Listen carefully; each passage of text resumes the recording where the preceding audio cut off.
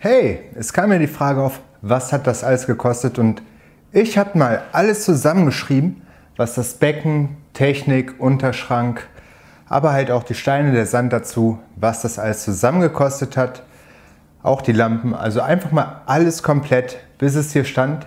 Ich habe zwar einige Sachen aus dem alten Becken übernommen, aber das allermeiste kam neu und deshalb finde ich, kann man das eigentlich auch ziemlich gut machen, da mal eine Übersicht zu machen, was das Gesamt gekostet hat.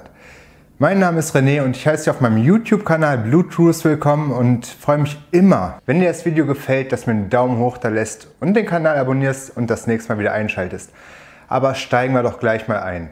Fangen wir doch gleich mal an, was das Becken mit Ablaufschacht gekostet hat. Das Becken habe ich kleben lassen, wie schon gesagt im letzten Video, wo ich die Technik mal vorgestellt habe. Das Becken habe ich kleben lassen bei Aquatropica und das hat die Maße 2 Meter lang, 60 tief und nur 50 hoch. Es hat einen mittigen Ablaufschacht mit drei Bohrungen, 25 mm, 36, 35 mm Bohrung und eine 40 mm Bohrung. Also drei Bohrungen, ganz normal Zulauf, Ablauf, Notablauf. All das, was man braucht. Das Becken mit den Bohrungen und dem Ablaufschacht hat 1050 Euro gekostet. Da fehlte aber noch der Überlaufkamm. Da musste ich zwei Teile bestellen, damit das komplett drüber passt. Das hat nochmal 20 Euro gekostet. Und natürlich die Verrohrung, die halt hier oben losgeht, unten im Technikschrank natürlich weitergeht. Die hat insgesamt ca. 150 Euro gekostet. Ja, ich weiß, es ist jetzt noch nicht günstig, aber wenn man das nachher zum Schluss mal runterbricht auf den Liter, ist das Becken echt gar nicht so teuer. Also ihr werdet überrascht sein, was da zum Schluss rauskommt. Aber als nächstes den Unterschrank. Und zwar den habe ich schweißen lassen. Ich mache hier einfach mal das Türchen auf. Einfache Holzplanken auch so bestellt, Klettverschluss und unten nochmal Magnete dran. Einfach damit das ordentlich hält. Das ist aus VA geschweißt. Und zwar hat das hier natürlich die Ecken geschweißt. Hier in der Mitte, rechts und links, sodass in der Mitte ordentlich Platz ist, um das Technikbecken gut rankommen zu können aber auch das gut zu platzieren.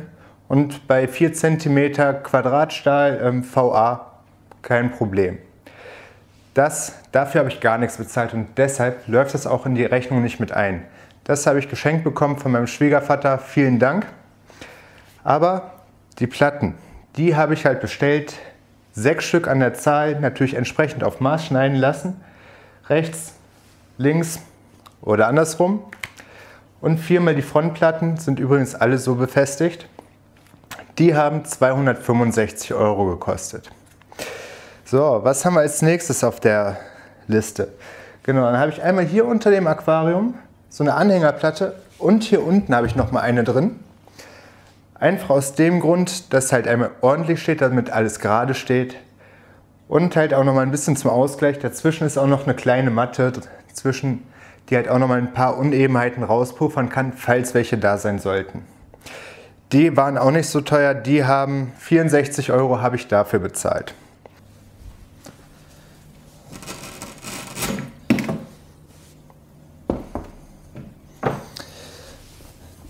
Dann das Technikbecken, was ihr auch schon bereits kennengelernt habt.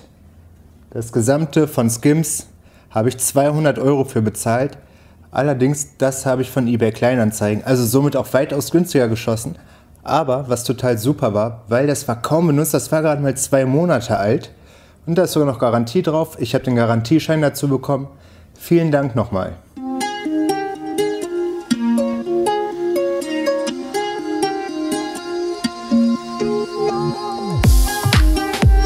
Licht ist Leben heißt es so schön, aber Licht kann auch ganz schön teuer sein und dem ist auch so. Wenn man das als Einzelkategorie nimmt, ist das Licht das teuerste Bestandteil in dem gesamten Aquarium. Und dabei habe ich die sogar schon gebraucht gekauft. Wobei auch wieder die neuen Philips Coral Care zwar auch gebraucht, aber wieder mit Garantie und auch gerade mit zwei Monate alt gewesen. Von daher auch wieder top. Und die dritte ist halt die erste Generation, die in der Mitte. Für die gesamte Beleuchtung, für diese drei Lampen habe ich insgesamt 1400 Euro ausgegeben, was für das, was man an Licht bekommt, nicht zu viel ist, absolut fair. Und ich habe euch ja schon im letzten Video gesagt, warum es halt die Philips geworden sind, warum ich die unbedingt haben wollte. Für die Strömung sorgen hier hauptsächlich zwei Tunze Stream 3, rechts und links eine platziert. Und die haben zusammen auch ca. 500 Euro gekostet. Also ja, es kommt schon Batzen Geld zusammen, aber es ist nicht zu viel. Wie, wie gesagt, jedes Hobby, jedes Hobby kostet. Nicht nur die Anschaffung, auch im Unterhalt. Und deshalb macht ihr gar nicht so viele Gedanken drum, dass das zu teuer sein könnte. Wenn du das wirklich machen willst, dann mach es. Es ist deine Leidenschaft und es ist nicht zu viel Geld. Also in meinen Augen ist es nicht zu viel Geld. Schreib es doch mal in die Kommentare, ob du dieses Aquarium hier vielleicht zu teuer findest. Hier die kleine Blue Marine ja, Nachfüllautomatik. Die hatte ich noch, deshalb ist sie in die Berechnung auch nicht eingeflossen. Aber du kriegst schon Nachfüllautomatiken, jetzt nicht diese, die hat einen optischen Sensor, aber einfach mit dem Schwimmer schon ab 40 Euro, also ist jetzt nicht unbedingt das teure Teil dabei. Dann haben wir halt hier den Abschäumer, ja, der war wieder ein bisschen teurer, das ist halt der Deltec 1000i, so, Sieht man das? Der ist auch ganz schön voll, wie man hier sieht. Der müsste mal geleert werden, aber top, richtig dunkle Brühe, also genauso wie es sein soll. Er arbeitet ziemlich leise, bin ich echt top zufrieden mit. Der hat ca. 360 Euro gekostet oder 370. 370 Euro hat er gekostet. Aber kann ich nur empfehlen, wie gesagt, ich hatte im letzten Video schon mal erwähnt, dass das der zweite ist, den ich hier habe. Ich hatte zuerst den von Nios, der war mir einfach viel zu laut und deshalb habe ich ihn getauscht und zweimal bezahlt. Shit happens.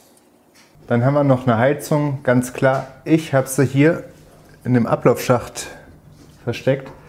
Da stört sie mich halt einfach nicht. Die hat ungefähr 40 Euro, habe ich auch aus dem alten Becken übernommen. Wie gesagt, vorher das Becken hat 500 Liter, das hat 600 Liter. Für die Heizung kein Problem. Dann sehen wir hier noch die Jibao Rückförderpumpe. Die hat 170 Euro gekostet. Die macht 10.000 Liter pro Stunde. Die UV-Anlage, die lasse ich jetzt mal außen vor, weil die nur temporär da ist und nie dauerhaft eingeplant war. Deshalb kommt die hier auch nicht in die Auflistung mit rein. Und dann haben wir noch die Aquamedic Dosieranlage, Mehrfachsteckdosen, Kabelverlängerung. Also so ein kleines Zeug zusammengefasst ca. 250 Euro. Damit haben wir technisch alles schon mal komplett, was wir brauchen, um das Meerwasseraquarium zu starten.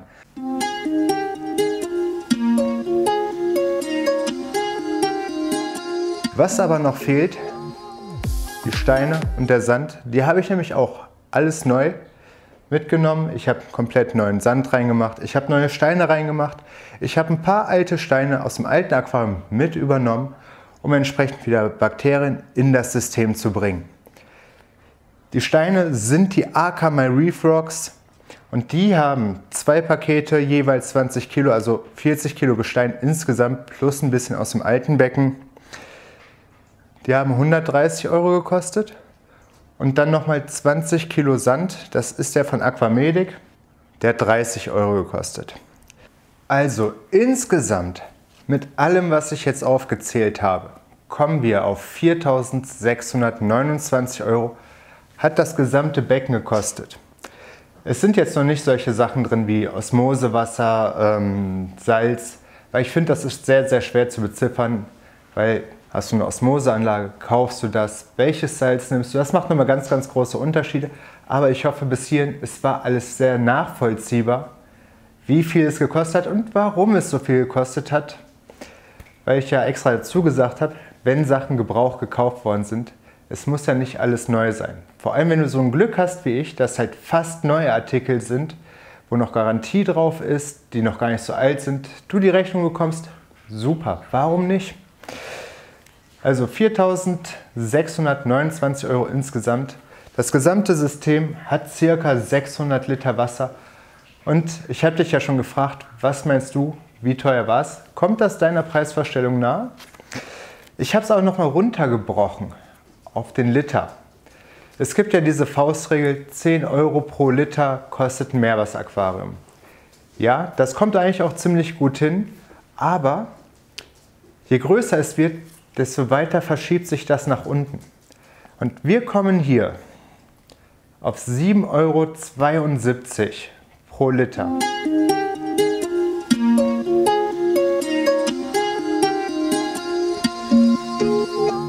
Für die Größe des Aquariums bin ich mehr als zufrieden damit und ich bin glücklich, dass hier steht, es war ein Haufen Arbeit. Ihr habt es gesehen. Wenn noch nicht, dann schaut euch nochmal den Umbau von dem alten aufs neue Becken an. Und ich freue mich, wenn ihr wieder einschaltet. Euer René von Blue Truth.